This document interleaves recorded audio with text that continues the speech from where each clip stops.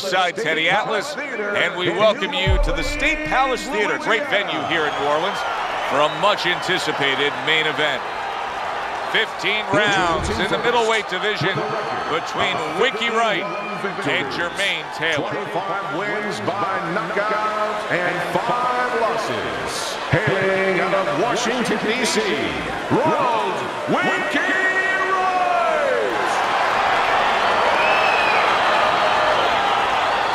And his opponent across the ring, 28 wins, 17 knockouts, and four losses. By way of Little Rock, Jermain Bad Intentions Taylor!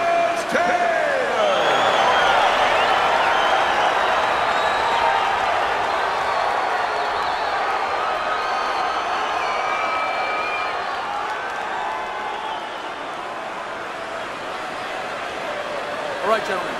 Protect yourselves at all times. Touch him up. When you get a fight like this that everybody's been talking about, it's always so interesting to see these opening moments here in round number one.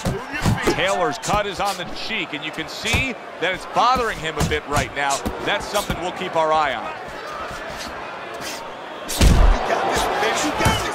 Got a fighter in here who's known for having a huge hook.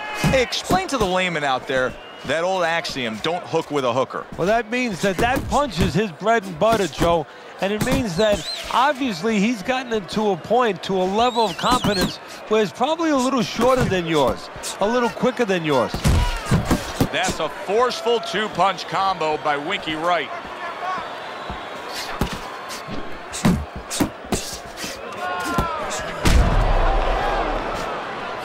There you go. There you go. Halfway through this round here.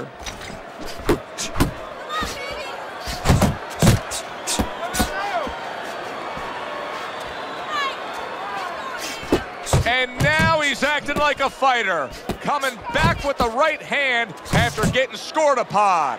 Well, supposed to be fighting, but instead he's hugging. That was a fine block by Jermain Taylor.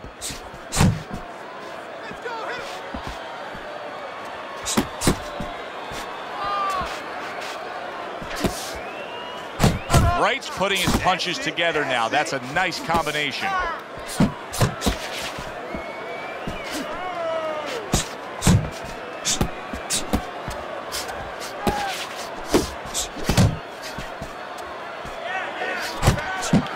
Keeps his hands up defensively, protecting the head.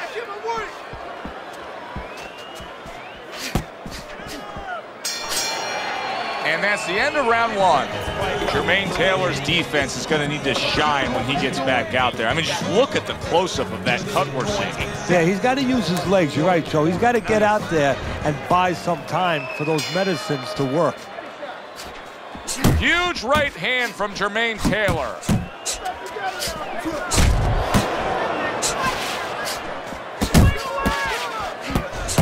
Blocks away that headshot.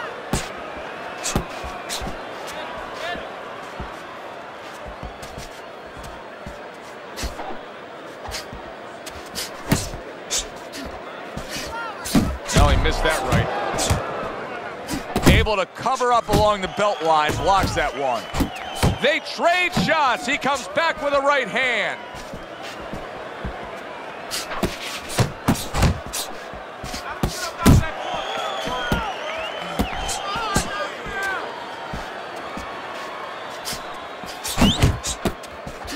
Big uppercut from Winky.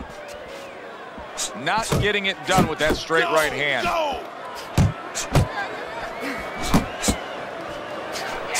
Halfway on, through. Round number there. two. Get out of there.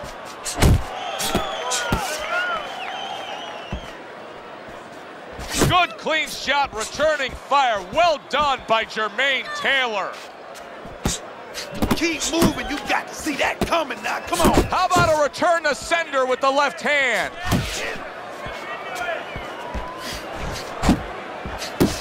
Able to block that away. It was targeted for his head.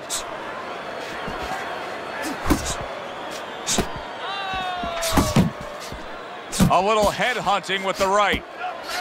If there was a baseball umpire around, he'd call that a strikeout by Winky Wright. Keep it up. Little volume Keep punching to the body there. Parries that punch intended for the head. Ten clicks of the talk.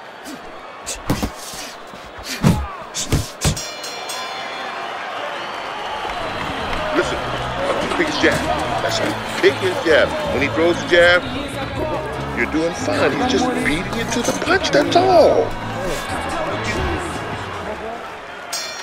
And round number three is underway.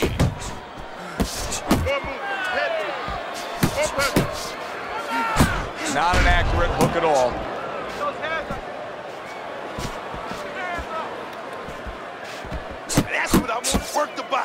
Work the body, kid. That's right. Body shots. Body shots. Focus. Commits to the straight right.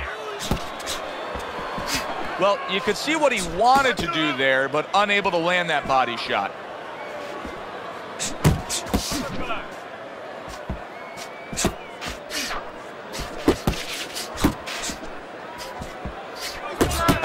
Worked out really well, throwing off the right hand after Just getting tagged like that. Like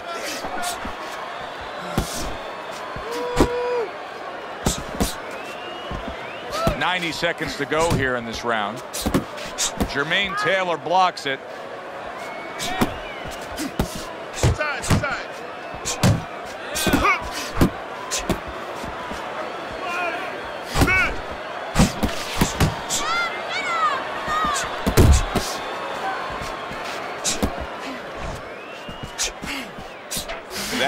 Was well off the mark. How much what the body get?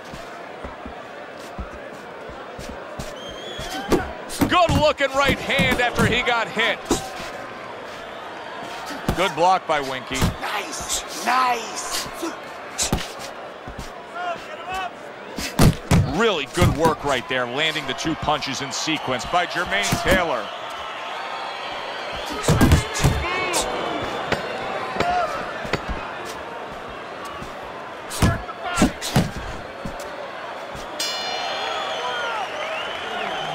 All right. All right.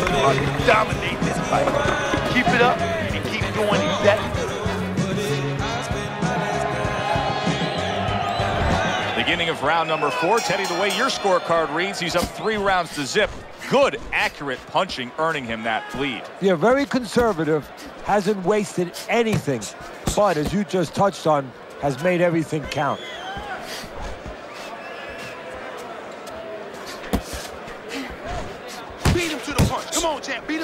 Watch the hook. Watch the hook. Come on.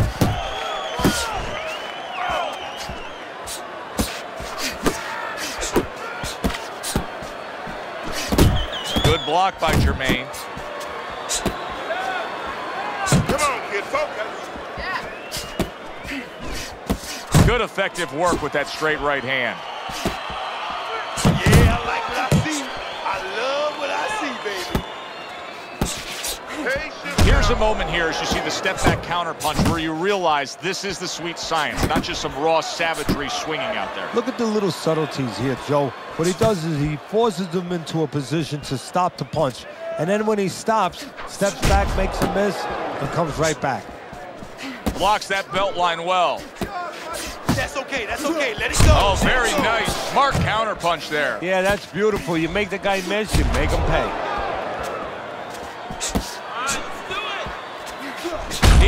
Digs in with an uppercut after blocking that shot away. Not hitting his mark there going upstairs. Comes right back with a shot of his own. Wright's got speed and plenty of it. Teddy, still, I'd like to see him just bite down and fight a little more. Yeah, you'd like to see him sit down a little bit, bend his legs a little bit, and make those punches a little more effective. Not just great where they look good. Body shot. Doing great, champ. Keep going. Just 10 seconds to go in this Keep your round. head moving.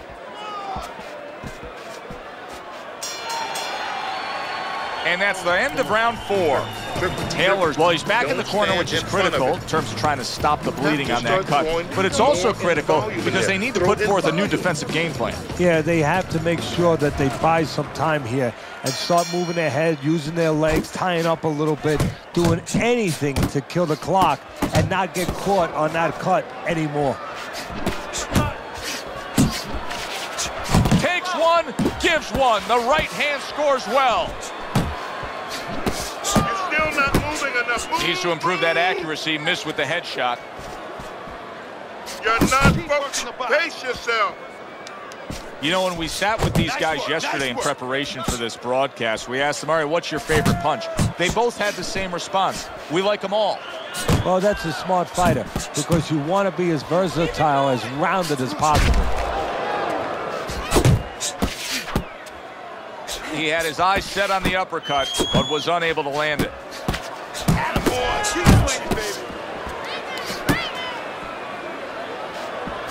He returns the favor with a right hand of his own. Wright's making for a clinic here in combination punching. Well, the first couple punches here, Joe, they're throwaway punches to really set up the payoff down the road. You see the third punch, the fourth punch, the fifth punch. They are the ones that wind up landing. And now just wasting away some time with that clinch. What a great job. He gave one right back in return. Nice work by Jermain Taylor.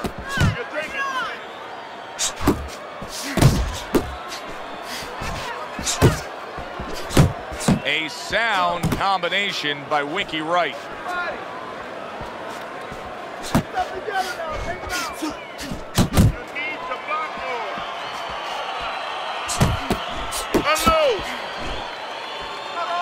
And he ties up on the inside.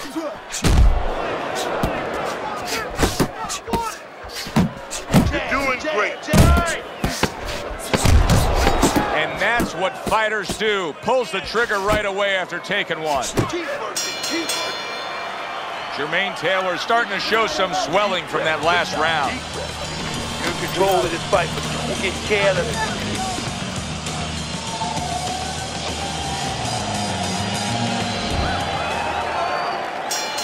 The start of the sixth round.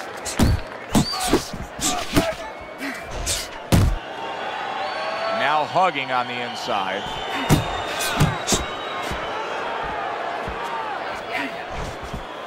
Do you see any way in which he can take his opponent's aggression and turn it against him? Yeah, the perfect way. I mean, boxing 101, counterpunching. You got a guy coming at you, no better way than to change his mind. Make him miss, make him pay. Hits him in the mug with the right. To the head he goes with a left hand.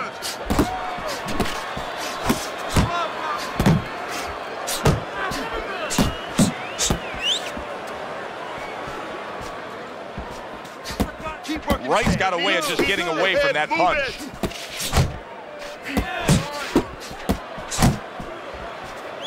Reaching the halfway point of round number six.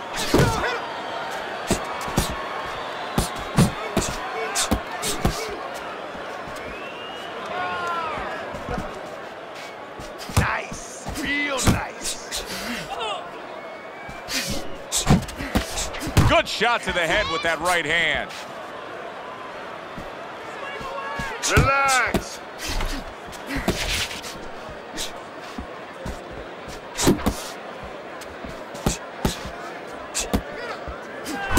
Oh, you see him with the left of the head there? Yeah, you got this. You got this. He gets hit, but he gives it right back.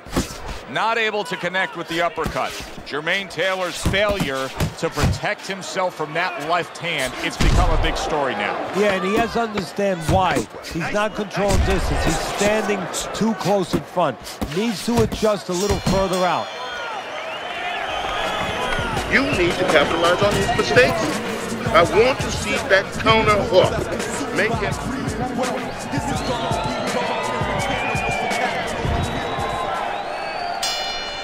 go. Action to start the seventh round.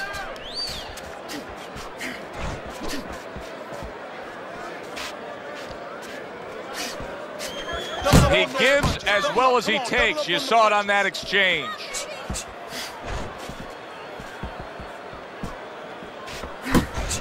Jermain Taylor lands the uppercut.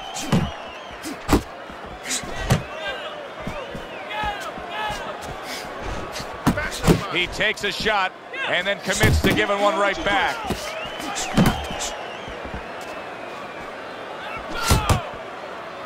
And now just wasting everybody's time holding on.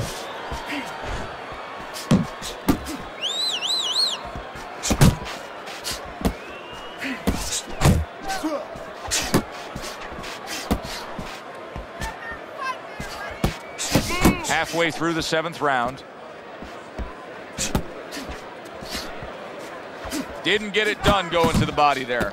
Jermain Taylor's, oh, Teddy, this has got to drive his trainer crazy because he's leaving himself wide open with these sweeping shots. Well, you talk about that old saying, leaving the barn door open and the horses are going to go out. Well, guess what? The punches, sooner or later, they're going to come in.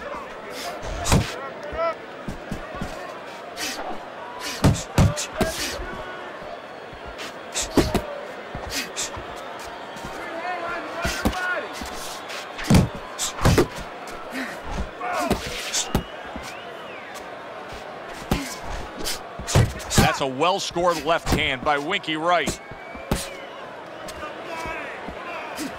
You're still not moving enough. Move, move! Coming towards the end of the seventh round, 10 seconds to go. That is Boxing 101. A nice, crisp combination by Winky Wright. Exactly like this. This is well, he's up big through seven rounds according to Teddy's scorecard. The answer for him has been a very simple formula. Just go out there and throw more punches. Yeah, and one other little thing that's not as simple, but it's very subtle, Joe. He's been moving his feet. You know, he's throwing punches, but he adjusts to where he has to He's adjust. been in good position. Oh, yeah, all the time. He's never out of position. Wright's defense is playing a prominent role in this fight, Teddy. Yes, it is, and specifically what it is is he has good fundamentals. He keeps those hands up real good, you know. They're attached, they're up around his chin, his elbows in.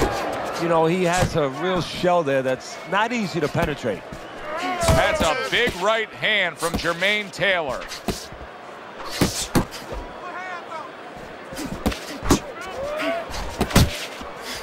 Took a shot, now he gives a left.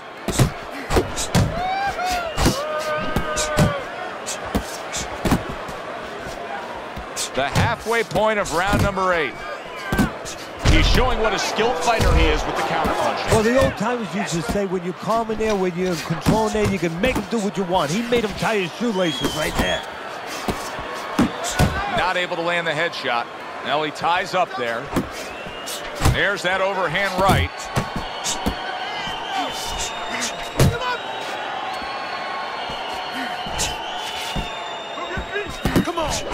Winky Wright's the kind of boxer that wants to do just that. Find the target, get the combination working, land both punches. He took a shot, but he came back with a right hand of his own.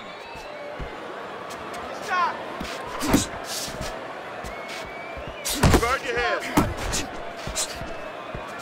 Clock counting down here in round number eight. 10 seconds to go. And the round comes to an end.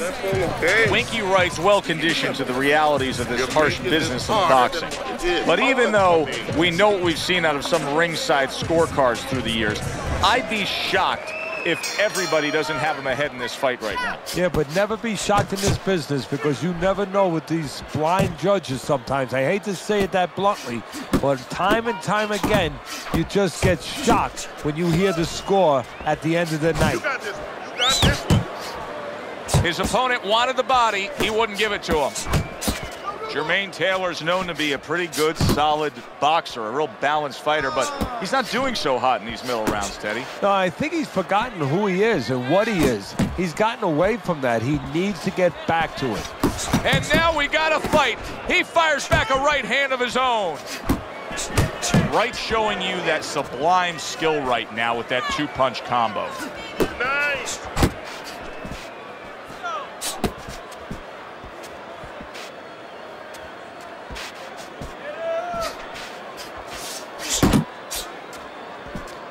Halfway through this round.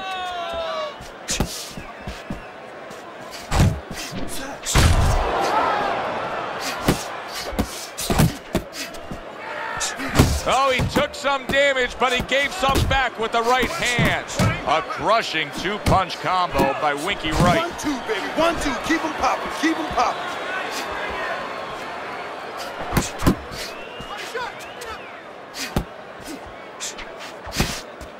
Keep moving. Keep moving. That's it. That's it. Use the Shake it off. jab. Shake it off. It's all right. It's all right.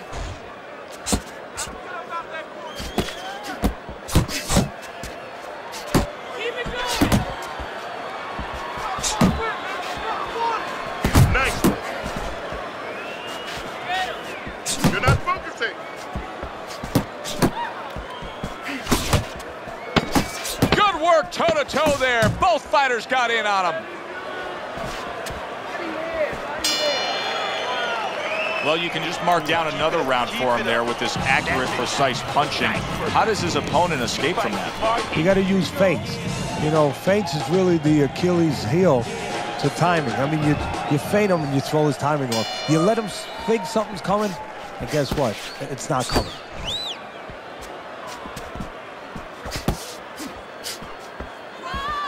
He took a go of it to the body, but came up empty.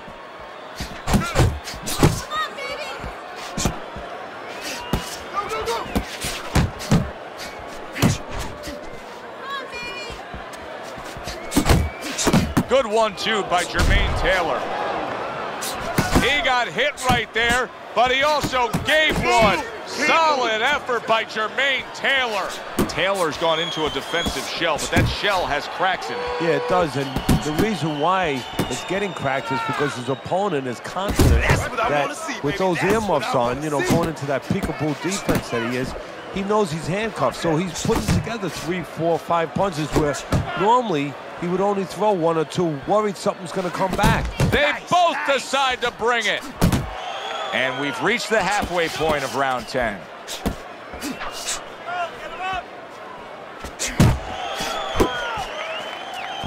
on, kid. Focus. Takes one to give one. He comes back with a right Beat him hand. to the punch. Come on, champ. Beat him to the punch, man. Look at that combination by Winky Wright.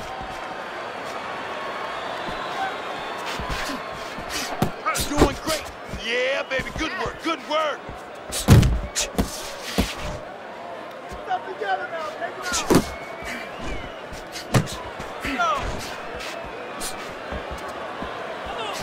Back to the body. Back to the body. He just missed that shot up top.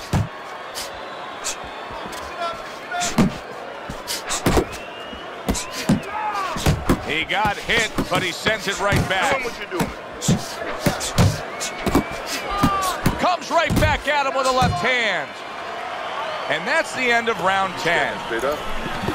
Move that body. You need to move that body more. So here we are, Teddy, deep into this fight, round number 11, and he's been in complete control all night long. I mean, at this point, unless something changes, Wright's on his way to victory. Yeah, you know, partly it's up to him. I mean, that he doesn't let off the gas pedal too much. He doesn't get careless, doesn't run into a tree, but he keeps it going, and it's up to his opponent. Is his opponent now just satisfied to go the distance, or is he going to take a risk to try to pull this out of the fire? Blocks the headshot.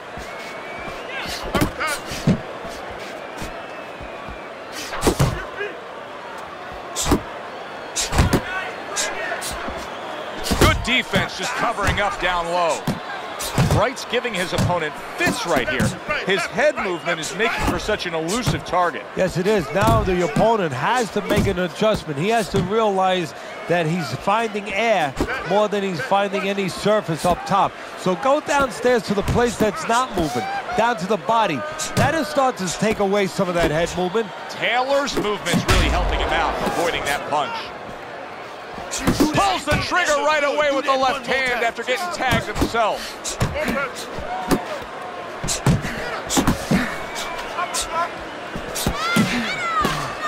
Good return fire that time. There it is! Oh, and he goes down. First knockdown tonight.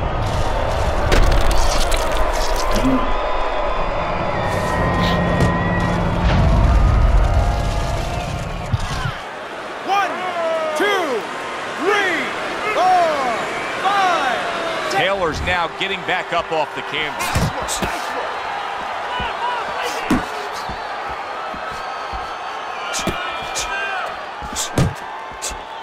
Unable to land clean by Winky Wright.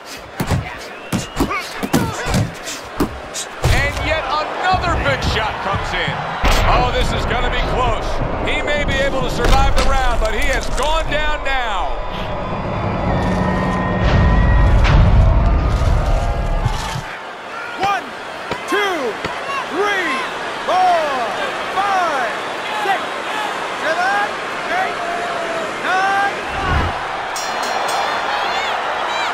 Bell to end that round gets him out of danger. But Teddy, my concern is what is he even going to look like when the next round starts? Well, that's the thing. The corner's going to have to take care of that, get some ice on him. And also, they're going to have to think, do they want him to go back out? Able to cover up that gut. Taylor's is coming out here after being knocked down in the last round. Teddy, what are some of the things you look for that will tell you he's on steady ground, that he looks fine? Well, the first thing I look for is the base, the foundation. I mean, you look at a house, you want to see and you want to make sure that that basement is solid. There's cinder blocks there. You know, you don't want to see that upper floor waving a little when there's a wind. You're looking at his legs.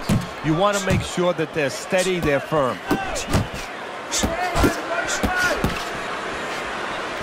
Not able to land the uppercut. Not much action as he just ties up.